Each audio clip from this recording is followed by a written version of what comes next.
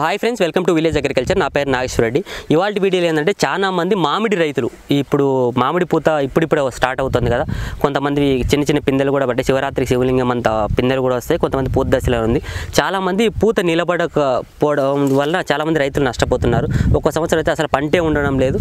మెయిన్గా ఏంటంటే ఈ మామిడిలో ఎంత కాసినా కూడా రైతుకు ఏమాత్రం మిగలడం గిట్టుబాటు ఉండడం లేదు. దానికి కారణం ఏంటంటే ఆయన సంబంధించిన మొక్క పది కాయలు ఇస్తే ఇస్తే అది ఇప్పుడున్నటువంటి వ్యవస్థలో ఒక కాయని నిలబెట్టుకుంటున్నారు అనమాట సో ఆ పది కాయలను పది కాయల్లో కనీసం ఆరు కాయలను ఎట్లా నిలబెట్టుకోవాలి? పూత దశను ఏ విధంగా దాన్ని సస్యరక్షణ ఎట్లా ఉంటుంది అని అన్నది ఇవాళ వీడియో. సో మనతో పాటు జి కృష్ణారెడ్డి గారు ఉన్నారు. స్వతహాగా ఆయన నర్సరీని నిర్వహించడం పాటు మంచి వెరైటీస్ని రైతులకు అందిస్తూ వారికి సంబంధించిన అనేక సమస్యలకు వారు పరిష్కారం చూపుతున్నారు. సో వారిని అడిగి అసలు ఈ మామిడి పూతలో తీసుకునే జాగ్రత్తలు ఏంటి ఎట్లా చేసుకుంటే ఎలా నిలబడుతుంది అని తెలుసుకుందాం. సో నమస్కారం సార్. నమస్తే చెప్పండి సార్ ఎట్లా ఏం? సార్ మామిడి ఫస్ట్ మీరు వేసిన తర్వాత మామూలుగా మీరు చేసే చిన్న తప్పు ఏంటంటే దీని కెనోపిని చిన్నప్పుడే కత్తరిస్తారు.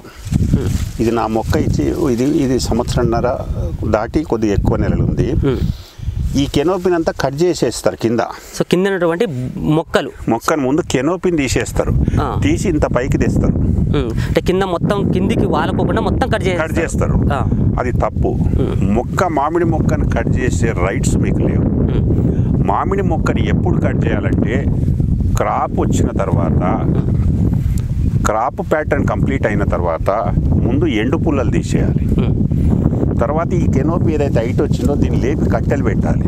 అంతే మీరు కత్తరియకూడదు సపోర్టింగ్ కట్టెలు పెట్టాలి. అంతేగాని కిందికి వాళ్ళనే కదని కట్ చేయకూడదు. ఐదేళ్ళ వరకు దీన్ని మీరు ఎలాంటి ఏలు పెట్టి కత్తరియకూడదు ఫస్ట్ ఐటమ్ నేర్చుకోండి. తర్వాత ఈ కెనోపిని ఇలాగే వదిలేయాలి. ఫస్ట్ మొక్కని ఏం డిస్టర్బ్ చేయకూడదు. రెండో ఐటమ్ దీనికి క్రాప్ వచ్చింది. సరే చిన్నప్పుడు మనకు అవసరం లేదనుకుంటే పూలను తీసేయాలి. ఏదో ఏజ్ వచ్చింది కొన్ని కాయలు చూద్దామంటే వదిలేయాలి. ఎన్ని సంవత్సరాలు నిలబెట్టుకుంటే మంచిది సార్? రెండు సంవత్సరాలు దాటిన తర్వాత నుంచే కరెక్ట్ అది. మూడో సంవత్సరం నుంచి క్రాప్ వదలడం నా సజెషన్ కరెక్ట్ అనుకుంటాను ఎందుకంటే కెనోపి అనేది అవసరం మనకి. తర్వాత మామిడిలో మెయిన్ చేయదగ్గ సిస్టమ్ ఏంటంటే మన రైతులందరూ తప్పు చేసే పద్ధతి ఎక్కడ జరుగుతుందంటే దీని హార్వెస్ట్ అయిపోయిన తర్వాత అంటే డెలివరీ అయినట్టు. హార్వెస్ట్ మీన్స్ దీని క్రాప్ హార్వెస్ట్ డెలివరీ అయిన తర్వాత కాపు అంతా అయిపోయింది అయిపోయిన అయిపోయిన తర్వాత ఈ ఈ మొగ్గలన్నీ గిల్లేయాలి. ఫస్ట్ ఏది? ఈ పూతాయి. ఈ మొత్తం గిల్లేయాలి. గిల్లేసి ఏం చేయాలంటే ఫుడ్ ఇవ్వాలి ఫస్ట్. ఫుడ్ దీనికి ఎంత అవసరం? మైక్రోన్యూట్రింటు సెకండరీ న్యూట్రింటు ఎన్పీకే యాపపిండి ఎఫ్ఐఎం అన్నీ కలిపి ఫుడ్ ఇవ్వాలి ఎప్పుడు?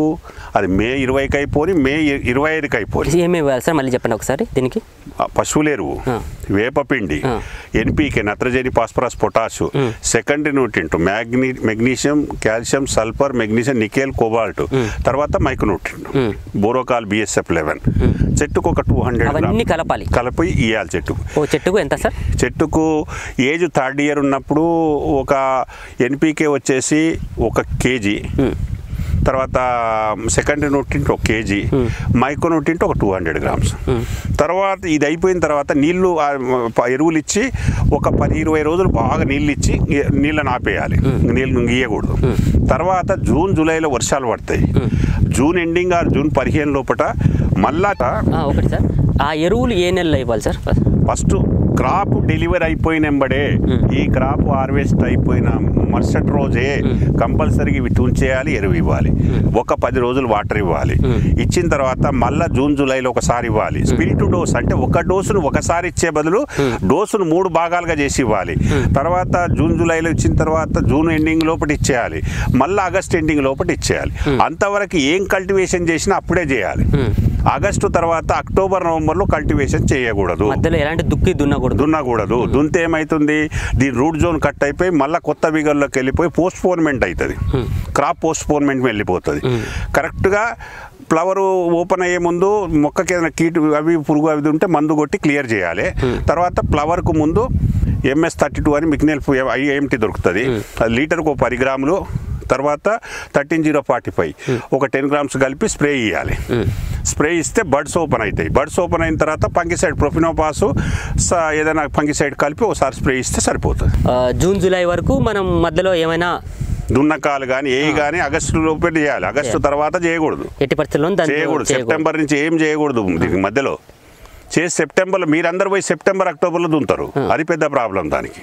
దానివల్ల ఈ కాపు వచ్చేటువంటి అవకాశం ముందుకు జరుగుతుంది లేట్ అయిపోతుంది వెనక్కి వెళ్ళిపోతుంది. సో పూత రాలకుండా సార్ చాలా మంది పూతలో నిలబెట్టుకోలేకపోతున్నారు పూత నిలబెట్టుకోపోవడానికి కారణం ఏంటంటే మీకు పూత ఓపెన్ అయినప్పుడే మీరు చేయాల్సింది ఏంటంటే బడ్స్ అప్పుడే స్ప్రే చేయాలి. దీని ఫ్లవర్ వచ్చిన తర్వాత ఈ బడ్స్ ఇట్లా ఓపెన్ అయ్యేటప్పుడు నువ్వు స్ప్రే చేస్తే ఇవన్నీ రాలిపోతాయి. రాకముందే రాకముందే చేయాలి, చేసినా. పువ్వు ఓపెన్ కాకముందే చిన్నగా. మొదలు అంటే చిన్నగా మొదలైనప్పుడే స్ప్రే చేయాలి. అప్పుడు ఏం చేయాలి ప్రొపినోపాస్ పంగిసైడ్ కొట్టిన తర్వాత only Planofix. Only Planofix hundred ఎంఎల్కి ఇరవై ఐదు ఎంఎల్ ప్లానోఫిక్స్ వేసి కొట్టాలి.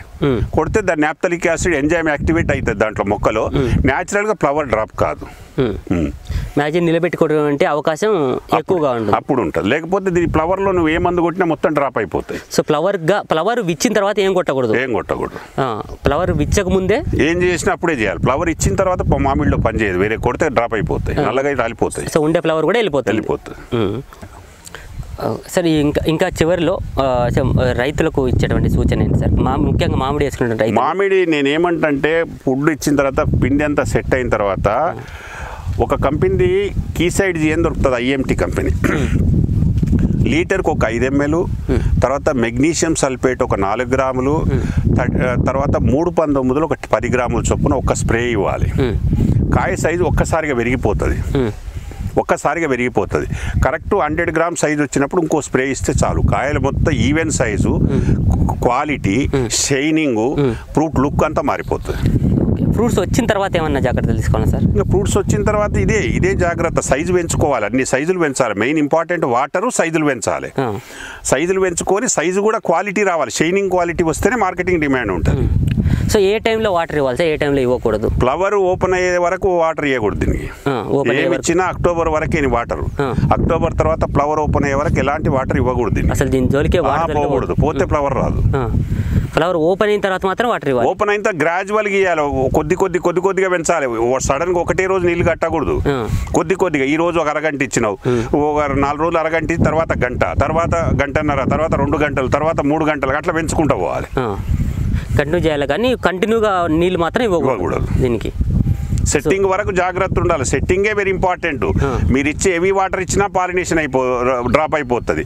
వాటర్ తగ్గినా డ్రాప్ అయిపోతుంది. So support give half an hour one hour ఇట్లా పెంచుకుంటా పోవాలి. సో అంతేగాని కంటిన్యూగా ఇవ్వకూడదు. ఇవ్వకూడదు. తర్వాత కంటిన్యూ ఇవ్వాలి సైజులు వచ్చి సెట్ అయిన తర్వాత ఇంకా కంటిన్యూ పెంచాలి కదా ఎక్కువ పెంచేసుకుంటే ఎంత. ఎక్కువ పెంచితే అంత అంత set అయిపో- అంత size వచ్చేస్తుంది. సైజ్ వచ్చేస్తుంది. సో మెయిన్ ఫ్రెండ్స్ రైతులు అనేటువంటి సందేహాలు మొదటిది ఊరికి పూత రాలిపోతుంది. ఎప్పుడు నీళ్ళు ఇవ్వాలి. సో ఈ రెండింటిని బాగా గుర్తుపెట్టుకోండి. ఖచ్చితంగా ఫ్లవర్ వచ్చేటువంటి దశ వరకు మీరు ఎట్టి పరిస్థితుల్లో దానికి నీళ్ళు ఇవ్వకూడదు. వచ్చిన తర్వాత మాత్రమే నీళ్ళు ఇవ్వాలని చెప్తున్నారు. దాని తర్వాత ఏమేం వేయాలి ఎట్లాంటి ఎరువు పూత- దీని ఫ్లవర్ సెట్ అయిన తర్వాత తేనె మంచు పురుగు అని వస్తుంది. అది తేనె మంచు పురుగు వచ్చినప్పుడు దానికి ఏం చేయాలంటే మీరు మన నాగార్జున కంపెనీ ఫంగిసైడ్. ఒకటి. తర్వాత ఇది మన ఏమంటారు? సో అది కాన్ఫిడార్ కానీ లేదంటే స్ప్రైడ్ కానీ కలిపి కొట్టాలి. పడుతుంది ఏమైనా సరే. అంటే ఏమన్నా వస్తే వాటి కొరకు కొట్టాలి. ఏది ఆ త్రీ ఏమంటారు? తేనె మంచు పురుగు కొరకు సో మరొకటి మర్చిపోయాను సార్. ఈ ఫ్లవర్ వచ్చిన తర్వాత మొత్తం ఒక బూసిలాగా ఏర్పడి మొత్తం ఒకే అదే అదే అదే అదే తేనె మంచు. పురుగు అంటారు. దాన్ని తేనె. మంచు పురుగు అంటారు. అదంతా వచ్చి కాడలన్నీ బల్ల నల్లగా అయిపోతాయి కాడలన్నీ. ఇట్లా కాడలు సెట్టింగ్ అంతా నల్లగా అయిపోయి పిండి అంతా మాడి రాలిపోతుంటది. అది- దాని కొరకు తేనె మంచు పురుగు అంటే ఇటు కం బూడిద తెగులు. అది ఎరిగితే. అది దాని మీద ఎరిగితే అది ఏమవుతుంది పెయిన్ ఎక్కువ అయిపోతుంది పెయిన్ ఎక్కువ అయిపోయి వేరే ఏటాక్ అవుతాయి వేరే ఏటాక్ అయి ఇదంతా నల్లగా అయిపోతుంది. టోటల్ సో దానికి మీరు ఆ, నాగార్జునకి సంబంధించినటువంటి నాగార్జున కంపెనీకి సంబంధించిన ఫంగిసైడ్ ఉంది దాని పేరు మర్చిపోయాను. అదొకటి తర్వాత నాగార్జున ఇంకా మంచి కంపెనీలు చాలా ఉన్నాయి. Fungicide sprayed or Confidor. ఈ రెండిట్లో ఏదైనా సరే. ఏదైనా స్ప్రే చేస్తే కంట్రోల్ అయిపోతుంది. అవకాశం ఎక్కువ ఉంది. సో ఇది ఫ్రెండ్స్ ఎందుకంటే మామిడి పూత ఇప్పుడిప్పుడే వస్తుంది. ఇది ఈ జాగ్రత్తలు తీసుకోండి. సో ఒకవేళ ఈ సంవత్సరం లేకపోయినా మళ్ళీ మరోసారి మీరు వేసినట్టు కొత్త రైతులు కానీ వేసినట్టు రైతులు కానీ ఈ జాగ్రత్తలు పాటిస్తే మంచి దిగుబడి సాధించేటువంటి అవకాశం ఉంది. స్వతహాగా నర్సరీ కూడా సారీ కృష్ణారెడ్డి గారు మెయింటైన్ చేస్తున్నారు. సో మంచి మొక్కలు మేలైన జాతి కూడా ఉన్నాయి. రెండు సమ ఏడాది పొదుగున మామిడికాయలు ఇచ్చేటువంటి జాతి కూడా సారు నర్సరీలో ఉందన్నమాట. అన్ని రకాల వెరైటీస్ని వారు పరిచయం చేస్తారు. ఇంకేమైనా డౌట్స్ ఉన్నా కూడా సార్ నెంబర్స్ అలాగే నర్సరీని మెయింటైన్ చేసిన డీటెయిల్స్ అన్నీ కూడా మీకు ఇస్తాను. ఆ, కింద కామెంట్ బాక్స్లో కామెంట్ చేయొచ్చు. Thank you for watching this video Jai Hind Jai రైతన్న ఇంకా లేట్ అయితే ఇదే ప్రాబ్లం